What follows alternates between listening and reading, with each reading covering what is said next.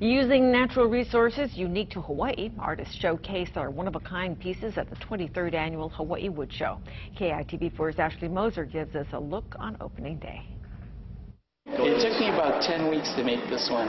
Woodworker Keith Miley is glad the hard part is over. Now he's showing off his latest piece at the Honolulu Museum of Art School Gallery. He's one of 48 artists who submitted work for the annual show. His creation, this tenor ukulele.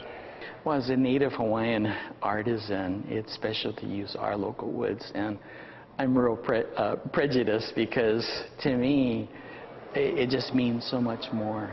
His wood of choice comes from the Milo tree, only found in Hawaii. Milo is very nice to work with because it's it's fairly tight grain, so it finishes up very nice and shiny if you want it to be that way. Unlike koa, uh, koa is tough to work with.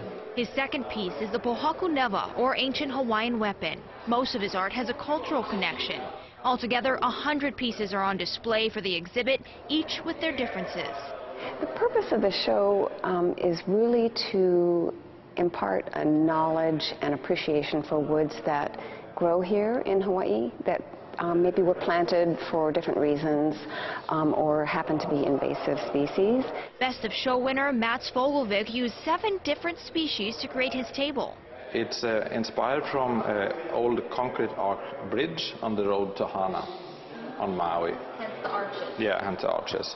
Organizer Marian Yasuda says each year artists bring new techniques to the woodworking community, helping put Hawaii on the map. That cross-pollination of ideas and designs and techniques is, um, is really wonderful. Ashley Moser, KITV4 News. The exhibit at the Honolulu Museum of Art School will continue through mid-October. It's free and open Tuesdays through Sundays.